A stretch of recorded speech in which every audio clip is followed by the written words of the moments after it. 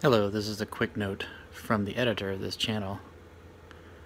A lot of people have asked about Limon and whether he was fired or not. Well, he explained it in his last Poker Sesh podcast.